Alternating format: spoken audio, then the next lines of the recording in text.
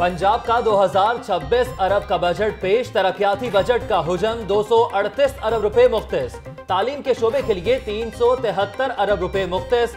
صحت کے شعبے پر دو سو چوراسی ارب روپے خرچ ہوں گے۔ مقامی حکومتوں کے لیے چار سو اڑتیس ارب روپے رکھے گئے ہیں۔ واٹر سپلائی، فراہمی اور نکاسیات پر بھی ساڑھے بیس ارب روپے خرچ کرنے کی تجویز۔ شعبہ توانائی پر پانچ ارب، چالیس کروڑ خرچ ہوں گے۔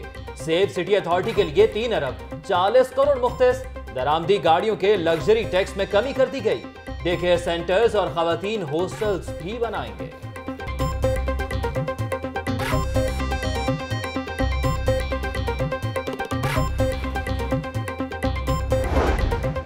اپوزیشن نے حکومتی بجٹ کو مسترد کر دیا۔ بجٹ اجلاس کے آغاز پر ہی اپوزیشن کی ہنگامہ آرائی بجٹ کی کاپیاں پھاڑ دیں۔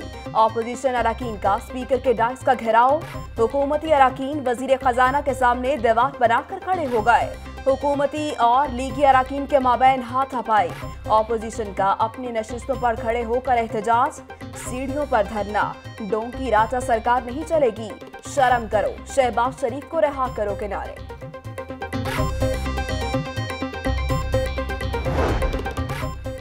پنجاب اسمبلی میں اپوزیشن اراکین کی ہنگامہ آرائی کا معاملہ۔ چھ اراکین اسمبلی کو رول دو سو دس کے تحت شوکاس نوٹس جاری۔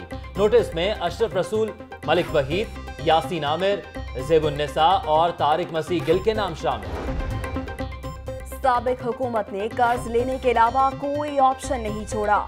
اورنج لائن منصوبے کی لاگت بڑھ کر دو سو پچاس ارب روپے تک جا پہنچی اورنج ٹرین منصوبہ عوام کے گلے کا کانٹا بن گیا قرض لینے کا فیصلہ انتہائی مجبوری میں کیا عوامی بہبود پر پیسے خرچ کیے جائیں گے نوجوانوں کو روزگار کی فراہمی کے لیے پالیسی بنائی جا رہی ہے وزیر خزانہ کی بجٹ تقریر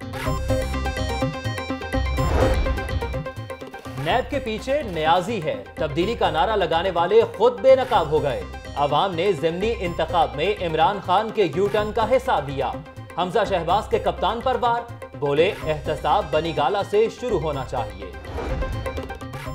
نام نہاد جمہوری نون لیگ کا چہرہ عوام کے سامنے آ گیا۔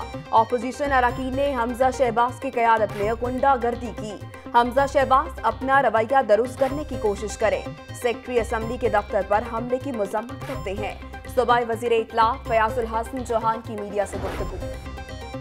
وزیر اعلیٰ پنجاب کی زیر صدارت پنجاب کابینہ کا اجلاس بجٹ اجلاس کی منظوری لے لی گئی۔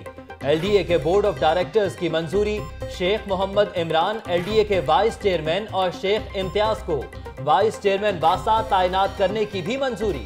وزیر اعلیٰ عثمان بزدار کا کہنا ہے کہ بجٹ سے پنجاب میں خوشحالی اور ترقی کا نیا باب کھلے گا۔ عدد و شماری کی ہیرا پھیری نہیں۔ حقیقت پر مبنی بجٹ تیار کیا۔ صوبائی وزیر خزانہ کا اجلاس سے خطاب۔ Ashiana housing scandal. Shahbaz Sharif مزید چودہ روزہ جسمانی ریمانڈ پر نیب کے حوالے۔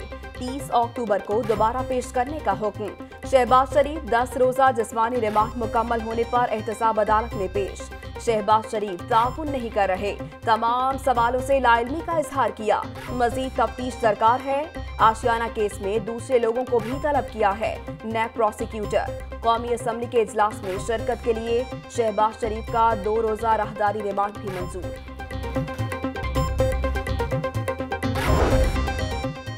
آشیانہ اقبال سکینڈل کی تحقیقات، نیب رپورٹ میں شہباز شریف پر کرپشن کا الزام۔ ٹھیکہ بولی میں کامیاب ہونے والی لطیف اینڈ سنز کمپنی کو دیا گیا بولی میں ناکام رہنے والی کسی کمپنی نے مقررہ وقت میں شکایات نہیں کی شہباز شریف نے غیر قانونی طور پر تحقیقاتی کمیٹی قائم کر دی نیب رپورٹ میں الزامات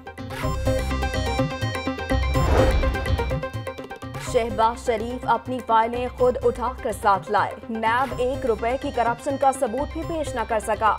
تین روز تک کوئی تفتیشی افسر میرے پاس نہیں آیا۔ زبانی احکامات دینے کی تصدیق کرتا ہوں۔ قوم کا لوٹا پیسہ واپس لیا۔ ملک کی خدمت کی، کیا غلط کیا؟ شہباز شریف کا عدالت میں بیان۔ شہباز شریف کو ہراساں کیا جا رہا ہے۔ کیس سیاسی بنیادوں پر بنایا گیا۔ وکیل شہباز شریف۔ شہباز شریف کو عام گاڑی میں احتساب عدالت لایا گیا۔ نیب آفس سے عدالت تک سیکیورٹی کے سخت انتظامات۔ شہباز شریف کی کمرہ عدالت میں حمزہ شہباز، سلمان شہباز، رانا ثناء اللہ اور مریم اورنگزیب سمیت لیگی رہنماؤں سے ملاقات۔ سلح مشورے پیشی کے بعد شہباز شریف کو سخت سیکورٹی ہسار میں نیب آفس منتقل کر دیا گیا۔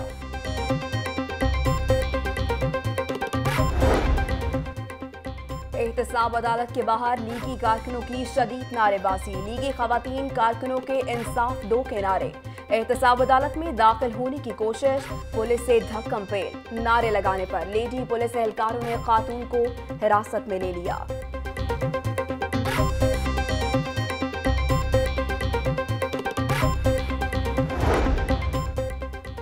دیانتدار شخص کو گرفتار کیا گیا۔ حکومت سیاسی انتقامی کاروائیاں کر رہی ہے۔ رانا ثناء اللہ۔ احتساب عدالت کے اطراف میں کرفیو لگایا گیا۔ زمنی الیکشن کے نتائج کے بعد حکومت پریشان اور خوف میں مبتلا ہے۔ مریم اورنگزیب۔ عظما بخاری بولی، ملک میں ڈونکی راجہ کی حکومت ہے۔ قانون ہاتھ میں لینے نہیں، اظہار یکجہتی کے لیے آئے ہیں۔ پرویز ملک کا شہباز شریف کو فوری رہا کرنے کا مطالبہ۔ احاطہ عدالت میں جانے سے روکے جانے پر mayor D I G operations پر برہم۔ پیراگون ہاؤسنگ سکینڈل کی تحقیقات۔ خواجہ سعد رفیق اور سلمان رفیق نیب میں پیش۔ ایک گھنٹے تک نیب دفتر میں موجود رہے۔ نیب کی تحقیقاتی ٹیم کو سوالوں کے جواب دے کر واپس روانہ ہوئے۔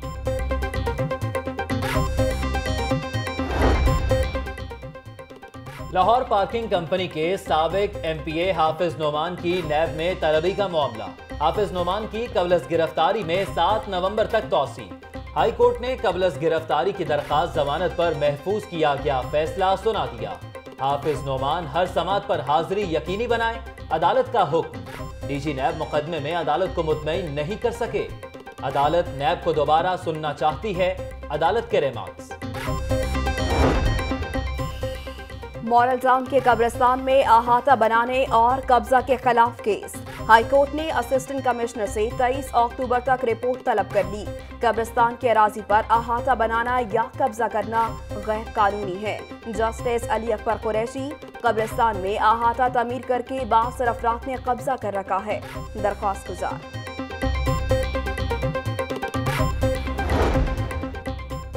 منشا بم کو پولیس اسلام آباد سے لاہور لے آئی۔ کل انسداد دہشت گردی عدالت پیش کیا جائے گا۔ منشا بم کے خلاف بیاسی مقدمات درج۔ اب تک کارروائی کیوں نہ ہوئی؟ پولیس خود حیران۔ ایس پی صدر ماز زفر کہتے ہیں، منشا بم کو ہر دور میں سیاسی افراد کی پشت پناہی حاصل رہی۔ ریکارڈ کے مطابق، منشا بم نے ایل ڈی اے کی چھ کنال اراضی پر قبضہ کیا۔ منشا بم کے بیٹے وقاص عرف آسم کو بھی گرفتار کر لیا گیا۔ اپنی ڈگریاں نہ ملنے پر گلوبل انسٹیٹیوٹ کے طلبہ کا دن بھر کینال روڈ پر قبضہ۔ مٹھی بھر طلبہ کے احتجاج نے پورے شہر کو جام کیے رکھا۔ کینال روڈ کے اعتراف میں ٹریفک کا نظام درہم برہم۔ سڑکوں پر گاڑیوں کی لمبی لمبی قطاریں لگ گئیں۔ شہری دن بھر انتظامیہ کو کوستے رہے۔ بڑے شہر میں ٹریفک کے حوالے سے بڑے فیصلے۔ موٹر سائیکل پر دو سے زائد افراد کے بیٹھنے پر پابندی لگانے کا فیصلہ۔ موٹر سائیکل پر بیٹھنے والے دونوں افراد پر ہیلمٹ پہننا لازمی ہوگا؟ خاتون ہو یا مرد؟ دونوں سواریوں کو ہیلمٹ پہننا پڑے گا۔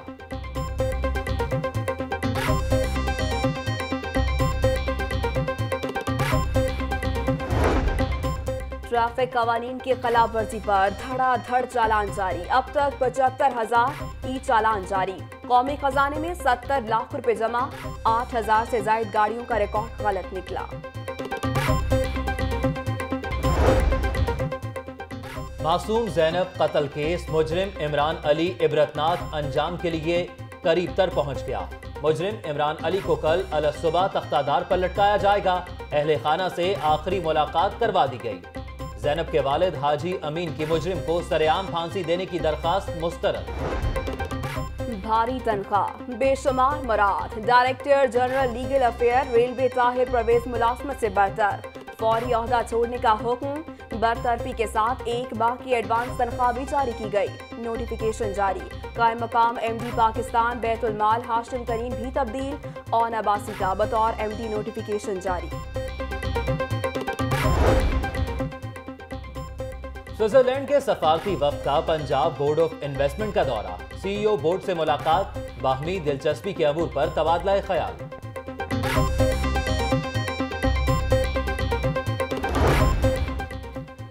میونی گروپ آف انسٹیٹیوشنز میں دوسرے ایروبکس مقابلے ننھی طلبہ کی صلاحیتوں نے حاصلین کے دل کو لیے۔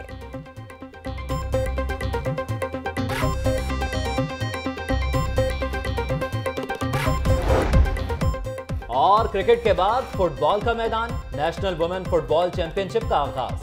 مارل ٹاؤن فٹ بال اکیڈمی میں رنگا رنگ افتتاحی تقریب۔ ٹورنامنٹ میں چودہ ٹیموں کی شرکت۔